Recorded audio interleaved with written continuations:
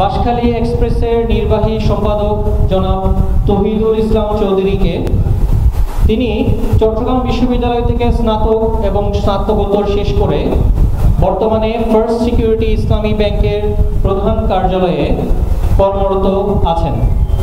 বক্তব্য রাখছেন বাঁশখালী এক্সপ্রেসের নির্বাহী সম্পাদক তৌহিদ চৌধুরী। স্বাগত বক্তব্য রাখবেন। ধন্যবাদ। আজকের এই শুভক্ষণে প্রথমেই ধন্যবাদ জ্ঞাপন করি মহান রব্বুল আলমিনের কাছে, যার অশেষ কৃপায় আজকে আমরা সবাই এখানে সমবেত হতে পেরেছি। সম্মানিত সুদী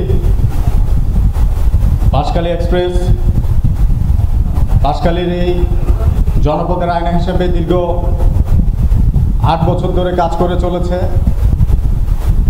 আজকের এই শুভক্ষণে সপ্তম বর্ষপূর্তি এবং অষ্টম বর্ষে পদার্পণ, ম্যাগাজিন মোড়ক উন্মোচন, প্রকাশনা উৎসব এবং বিজয়ীদের পুরস্কার বিতরণ অনুষ্ঠানে মূল্যবান সময় দিয়ে আমাদেরকে কৃতজ্ঞ করেছেন বাঁশখালীর আবাম্মর জনসাধারণের অভিভাবক,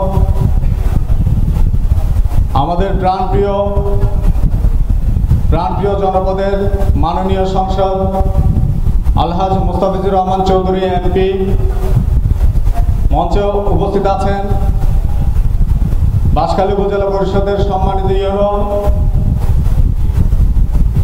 উপস্থিত আছেন উপজেলা ভাইস চেয়ারম্যান, উপস্থিত আছেন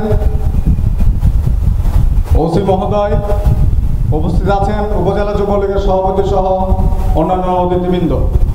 আমি প্রথমেই অতিথিবৃন্দ এবং আজকের উপস্থিতদেরকে বাঁশখালী এক্সপ্রেস পরিবারের পক্ষ থেকে ধন্যবাদ এবং কৃতজ্ঞতা জ্ঞাপন করছি আপনাদের মূল্যবান সময় দেওয়ার জন্য। সম্মানিত সুদী একটা সুন্দর আগামী প্রতিষ্ঠা করতে গেলে শিক্ষিত প্রতিভা প্রতিভাবান, সংস্কৃতি মনা জাতির কোনো বিকল্প নেই। এর ধারাবাহিকতায় পজিটিভ বাসকালী বিনির্মাণে পজিটিভ বাসকালীর স্বপ্নদশটা বাসকালীর তরুণ তুর্কি, রহিম সৈকতের হাত ধরে দু হাজার পনেরো সালে পথ চলা শুরু করে আপনাদের প্রিয় portal Banshkhali Express.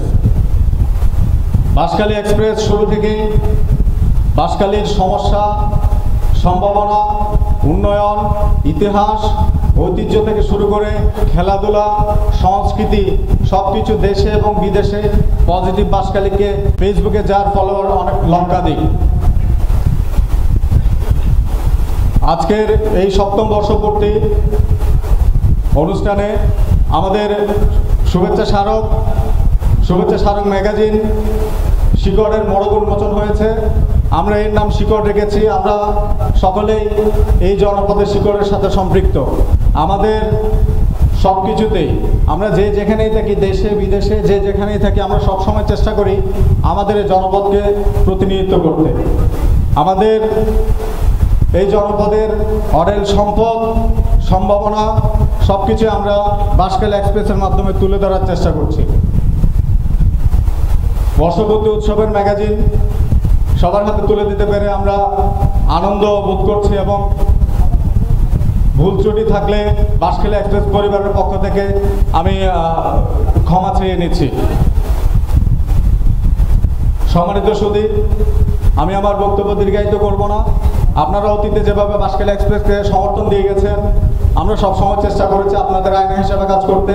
আমাদের মাননীয় সংসদের দিক নির্দেশনায় আমরা সবসময় চেষ্টা করেছি পজিটিভ পাশখালীকে তুলে ধরতে। সামনেও ইনশাল্লাহ আমাদের সকল কর্মকাণ্ডে আপনাদের সবাইকে পাশে পাবো, এই আশাবাদ ব্যক্ত করে আমি আমার বক্তব্য শেষ করছি। আসসালামু আলাইকুম রহমতুল্লাহ।